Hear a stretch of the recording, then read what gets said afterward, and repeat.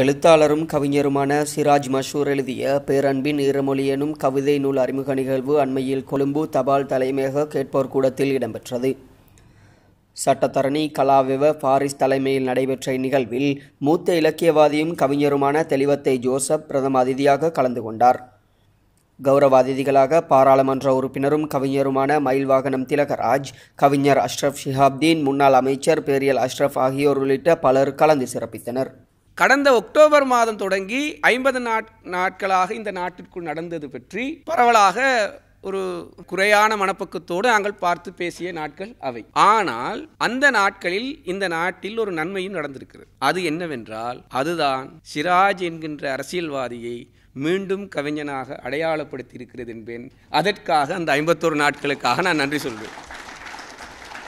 காரணம் என்னவென்றால் பல வருட காலமாக கவிதை எழுதி கொண்டு வந்த சிராஜ் கட்டுரை இலக்கியத்திற்கும் ஆய்விலக்கியத்தின் பக்கமும் தன் ஈடுபாட்டை காட்டிய பின்னரும் கூட மீண்டும் அவருக்கு கவிதை தனது கவிதை நூலை எழுதிவிட வேண்டும் என்கின்ற தோற்றப்பாட்டை உருவாக்கிய காலகட்டமாக அந்த காலகட்டம் தான் இருந்திருக்க வேண்டும் என்பதற்கான ஆதாரங்கள் சிலவற்றை முதலாவது கவிதையை விடுத்து அடுத்த கவிதைகளில் என்னால் தரிசிக்க முடிகிறது. தீர்ப்புக்காய் காத்திருத்தல். வேறொரும் சொல்ல தேவையில்லை நினைக்கிறேன். அது அந்த தீர்ப்புக்காய் நாங்கள் காத்திருந்த மனநிலையை ஒரு கவிதை உணர்வோடு பதிவு செய்கிற நிலைமை பார்க்கிறோம். அது தொடர்பாக அவர் எழுதியிருக்கக்கூடிய இரண்டாவது கவிதை குழப்பத்தின் நடுநாயகம். யார் என்பதை நீங்களே தீர்மானித்து விடலாம். தலைப்பே போதுமாக இருக்கிறது. மூன்றாவது கவிதை தலைப்பு இதுதான் அப்பம் தின்ற குரங்கு.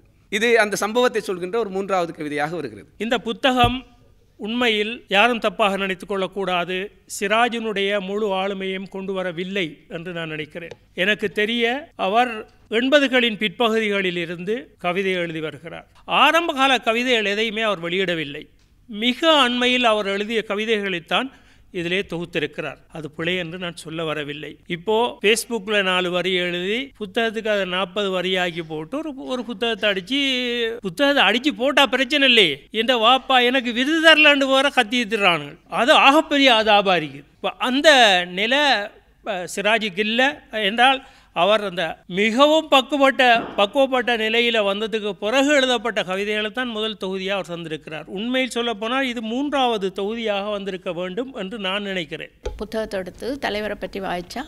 ஐயோ அந்த மாதிரி இருந்தது. என்னடாப்பா இந்த தலைவரை பற்றி இப்படியெல்லாம் எழுதியிருக்கிறார்? அந்த மாதிரி ஒரு ஒரு எண்ணம். இருந்தாலும் அதை எழுதுறதுக்கு இருந்த அந்த துணிவை பற்றி நிச்சயமாக பாராட்டத்தான் வேண்டும். தலைவர் மறைஞ்சு இப்போ ரெண்டு தசாப்தம் கிட்டத்தட்ட. ஆனால் ரெண்டு தசாப்தத்துக்கு பிறகும் தலைவர் தானே. அவர் கடைசியாக அவர் கேட்டிருக்கார் கொடுத்து வச்சவர்னு சொல்லியிருக்கார். நிச்சயமாக கொடுத்து வச்சவர் தான். ரெண்டாயிரம் எலெக்ஷன் வரும்.